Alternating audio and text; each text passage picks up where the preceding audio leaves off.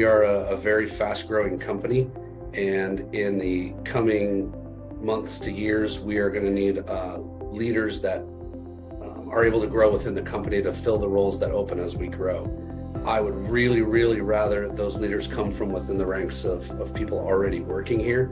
Um, and the only way to do that is to invest in their development and growth and leadership training.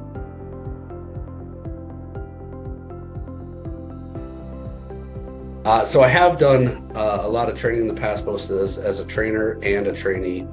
And what was different about MindsetGo was that combination of engaging delivery, engaging content, um, but also very, very relevant content to what we were what we were encountering uh, within our business. Uh, the you know generational intelligence, emotional intelligence was something that is very, very quickly and easily used once learned in the, in our environment. One of the absolute awesome things about the content and the delivery of the MindsetGo training is that it was it was very relevant to what they were doing now, and uh, the the buy-in was easy to get because it was things that they were already struggling with, and so being able to use it immediately and being able to recognize when you need to to incorporate some of these lessons uh, was very easy to do with the team. So as far as the retention goes, um, they are still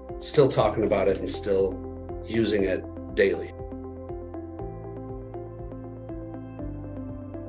Uh, these conversations that we learned how to have the uh, the tough conversations, the feedback conversations, they were already happening every day. They were already happening all the time in a work environment.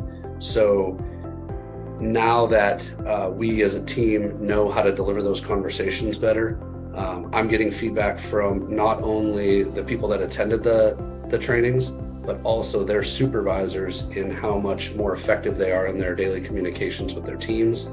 And the probably the best part of it all is that I'm getting feedback from the people uh, that they lead, saying, "Hey, I've noticed my leader has changed. I've noticed a change in how they present things to me, how they talk to me, and, and how they give me feedback. And it's always awesome when you hear from the teams that they're leading that they've noticed a change in their leader.